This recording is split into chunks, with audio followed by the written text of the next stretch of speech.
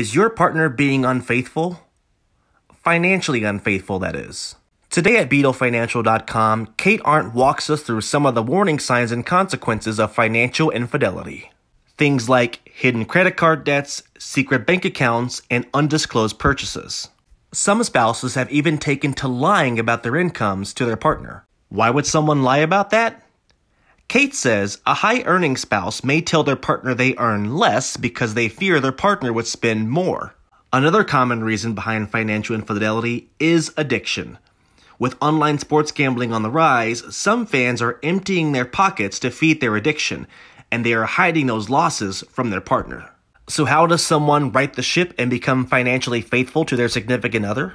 Kate Arndt recommends you start the conversation with your partner by discussing financial values, experience with money, and common financial goals.